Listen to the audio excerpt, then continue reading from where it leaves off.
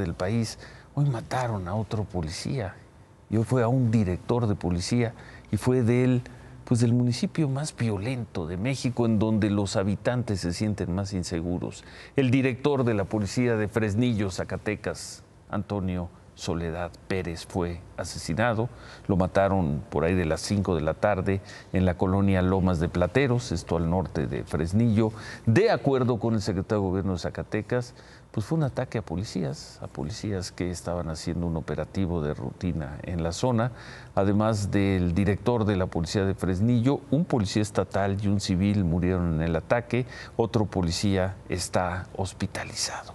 Antonio Soledad apenas había tomado protesta como director de policía de Fresnillo el 15 de mayo.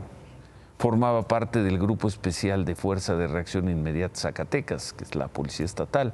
Era cercano al secretario de Seguridad del Estado, Arturo Medina, quien lo propuso como director de la policía, pues para tratar de bajar la incidencia de delitos en Fresnillo. Y hoy, hoy lo mataron. Por cierto, hoy el presidente López Obrador dijo que las Fuerzas Armadas hacen valer la paz y la tranquilidad sin el uso excesivo de la fuerza ni el abuso de autoridad. Esto lo dijo al clausurar los festejos por el bicentenario del Colegio Militar.